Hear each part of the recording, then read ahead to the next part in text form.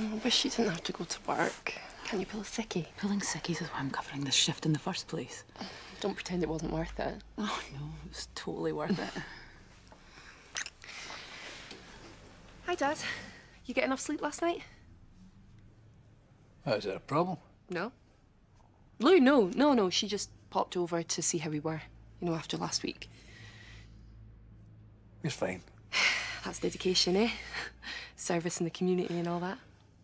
Yeah, you go on. I'll be through in two minutes.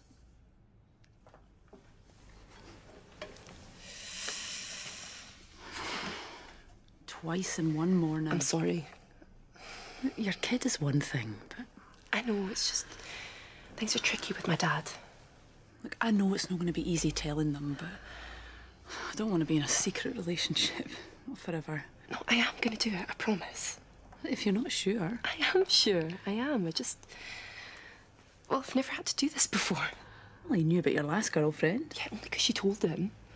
You know, Belinda was a psycho, and as far as my dad was concerned, she brainwashed me. So this is different. I'm glad to hear it. Like, I just need to figure out a way of telling him.